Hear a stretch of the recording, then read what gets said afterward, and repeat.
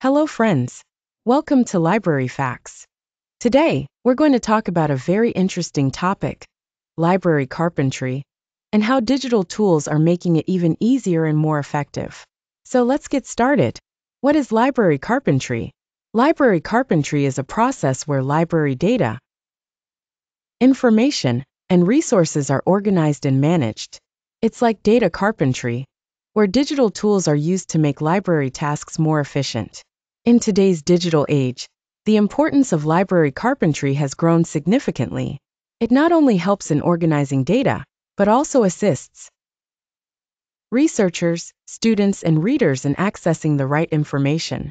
Earlier, traditional methods were used in library work, but today, digital tools have made this work much easier. Let's take a look at some of these tools. The first tool is spreadsheet software, like Excel or Google Sheets. With these, you can easily organize library data, such as book lists, loan records, and even reader information. The second tool is reference management software like Zotero or Mendeley. These tools help researchers and students manage their research papers and references. The third tool is OpenRefine, which helps clean and organize data. This tool is very useful for managing large datasets in libraries. The fourth tool is library management software, like Koha or Evergreen. These software manage the entire library system digitally. The fifth tool is digital repository software like DSpace or ePrints. These tools help store and share digital resources in libraries. Benefits of using digital tools. Using digital tools makes library work much easier. These tools save time, improve data accuracy, and make information more accessible. However, there are some challenges in adopting digital tools, such as a lack of technical knowledge or budget issues. But these challenges can be overcome with training and proper planning. In the future, library carpentry will become even more advanced. Technologies like AI and machine learning will make library work even smarter. How to use Excel slash Google Sheets for library data. Let's learn how to use Excel or Google Sheets to organize library data. First, create a new sheet and add columns, such as book title, author, and genre. Now, enter the data and use formulas to calculate the total number of books. You can use filters and sorting options to easily organize the data. This way, Excel or Google Sheets is a great tool for managing library data. How to use Zotero slash Mendeley for reference management. Now, let's learn how to use Zotero or Mendeley for reference management.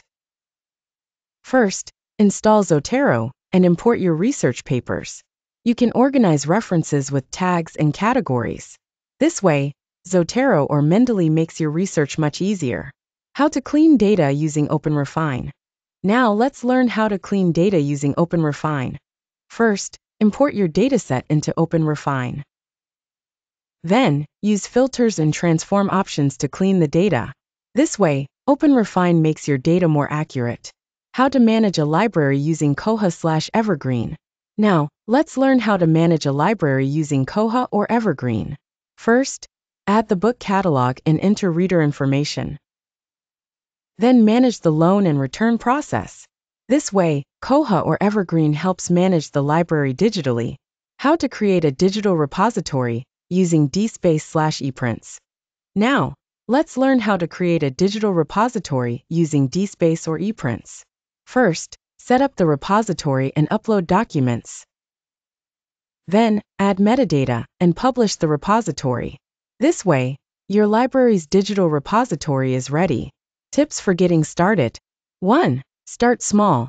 Choose one tool to begin with like Excel or Zotero. 2. Train your team. Ensure everyone is comfortable using the tools. 3. Seek support. Join online communities or forums for help. 4. Evaluate and improve. Regularly assess your processes and make improvements. And that's a wrap. We've explored library carpentry and how digital tools are transforming libraries. Whether it's managing data, organizing references, or creating digital repositories, these tools are making library work faster, smarter, and more efficient. If you found this video helpful, like, share it with your friends, And don't forget to subscribe to Library Facts. Thank you.